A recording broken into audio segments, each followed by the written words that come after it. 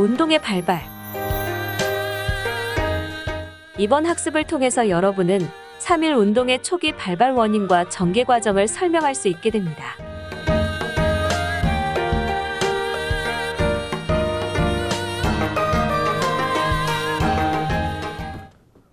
예, 위 사진은 태화관에서 독립선언을 한 민족 대표의 기록화입니다.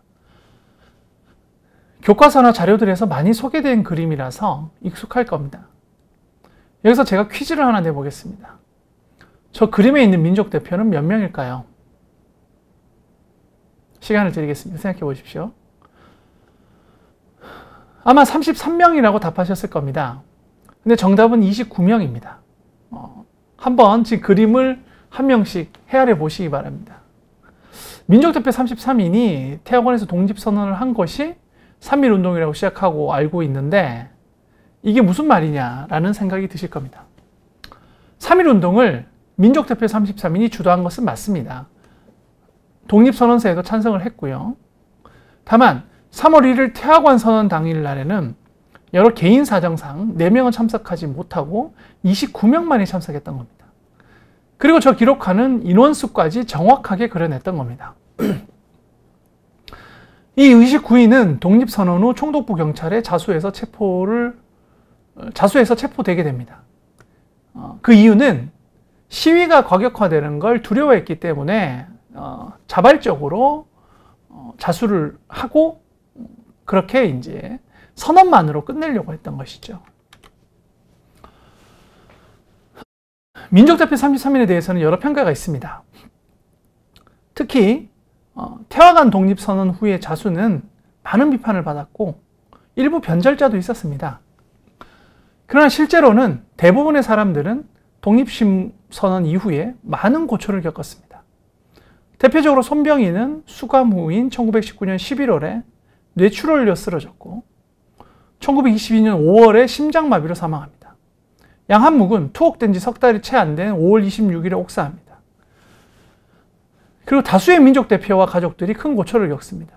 그리고 민족 대표 33인 중 변절자는 박희도, 정춘수, 최린 3명 정도였습니다.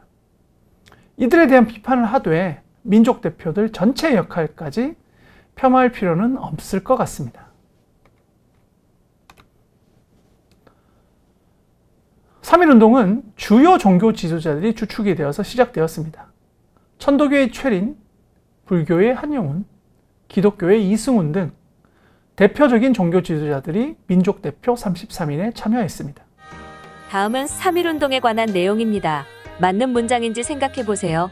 민족 대표 33인은 천도교, 기독교, 불교 지도자들이 참여했는데 천도교 15명, 기독교 16명, 불교 2명으로 구성되었습니다.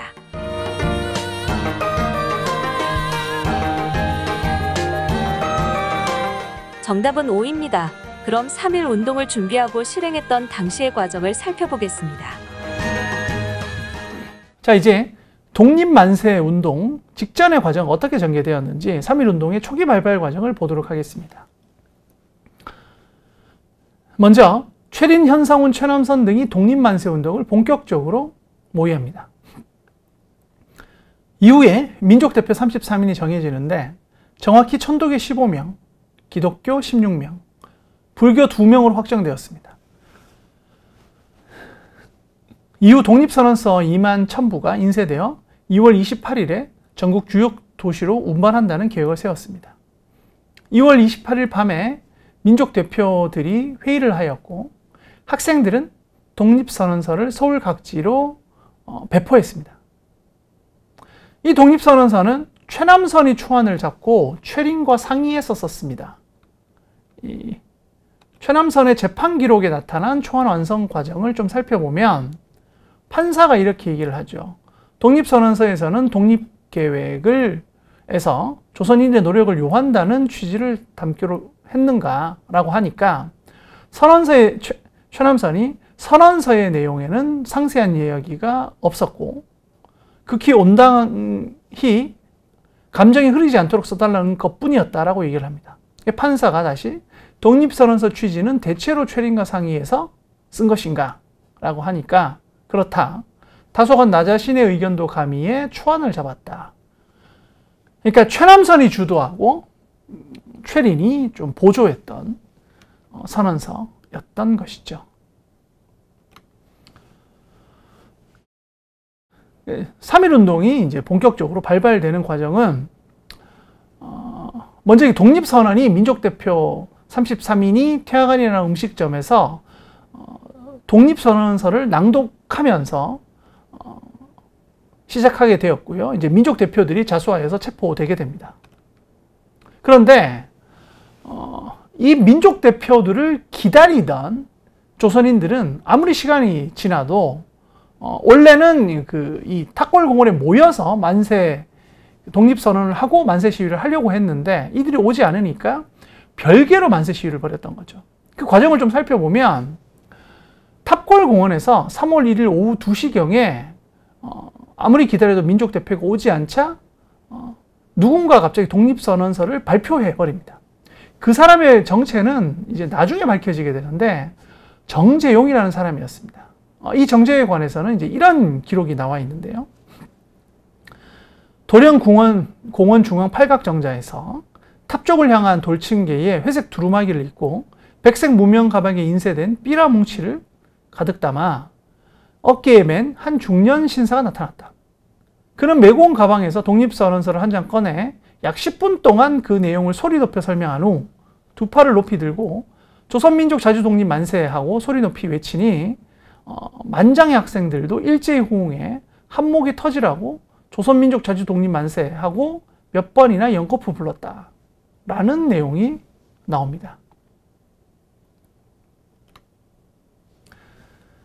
이렇게 해서 시가지에서 만세 시위가 전개되었고 경성과 평양 등 10여 개 도시에서 독립설언식이 거행됩니다. 내용은 이렇습니다.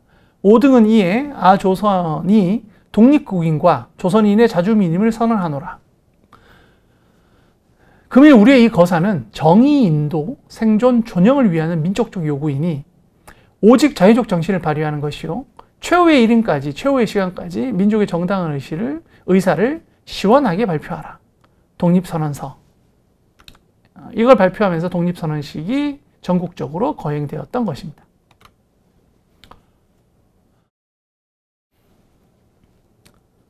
자, 마무리 정리해 보도록 하겠습니다. 어, 3.1 운동은 본격적으로 시작 하고 준비한 것은 바로 천도교, 기독교, 불교의 어, 지도자들이었습니다. 최남선이 초안을 잡고 어, 최린이 보조했던 그 독립선언서를 2월 28일에 학생들이 반포를 했고요.